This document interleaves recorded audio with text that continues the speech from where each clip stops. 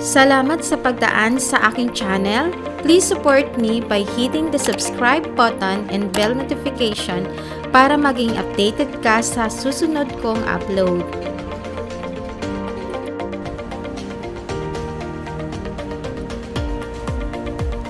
Ang mga benepisyo ng pagkain ng prutas ng lansones. Ang lansones ay may scientific name na Lansium domesticum na may common name na langsat or lansones sa English. Ang lansones ay kapamilya ng mahogany. Ang lansones ay native sa Southeast Asia, gaya ng Malaysia, Philippines, Indonesia at Southern India.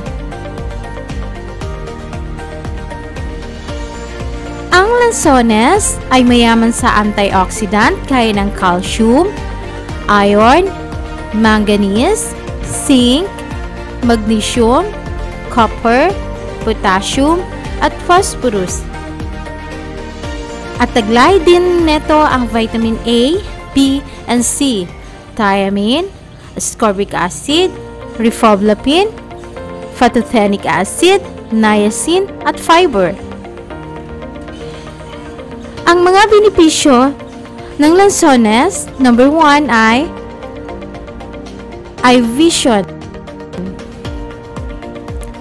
Ang pagkain ng lansones ay nakakatulong dahil makakaiwas ka sa pagkakaroon ng muscular degeneration at cataract or catarata.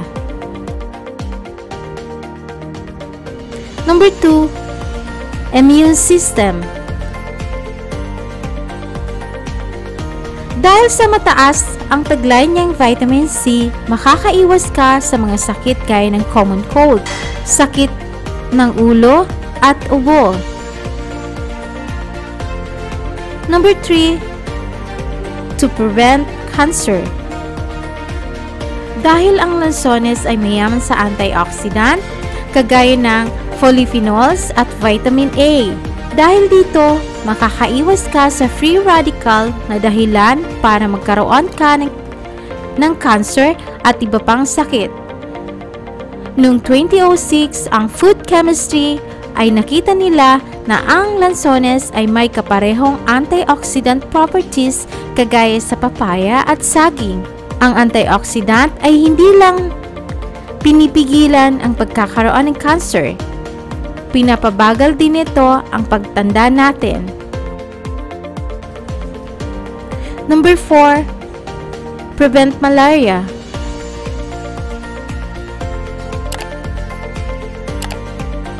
Ayon sa pag-aaral ng US National Library of Medicine, ang katas ng dahon at balat ng lansones ay napipigilan nito ang life cycle ng malaria-causing parasite Plasmodium falciparum.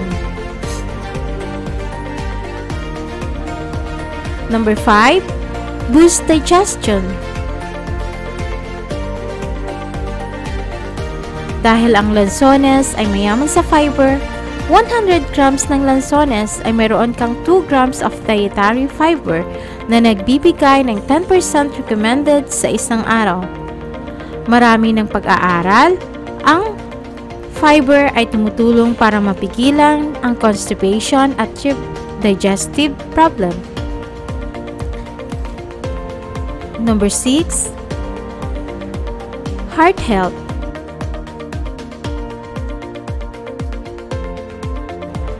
Ayon sa US National Library of Medicine, maraming obserbasyon ang nakikita na ang mga taong kumakain ng fiber food ay mababa ang risk na makadevelop ang corona heart disease. Number 7, strong teeth.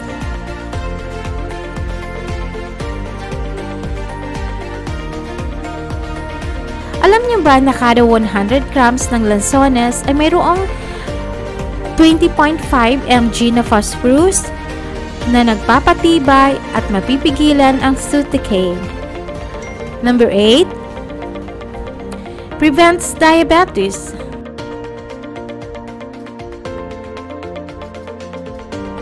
Dahil sa mataas ng fiber content, Ang lansones ay magandang kainin lalo na sa mga taong may diabetes. Ang fiber kasi ay nagpapababa ng absorption ng asukal, kaya napipigilan niya ang pagtaas ng blood sugar at nare-regulate din niya ang levels sa dugo. Number 9. Boost brain health. Ang lansones kasi ay mayaman sa vitamin B kagaya ng riboflavin, thiamine at niacin.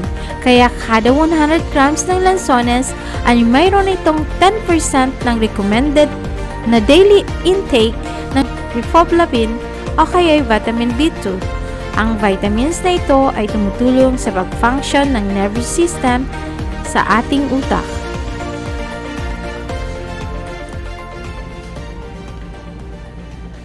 Maraming salamat po sa panunood at huwag kalimutang mag-subscribe at pindutin ang bell notification para updated ka sa susunod kong upload. Pakishare na din po para makatulong sa iba.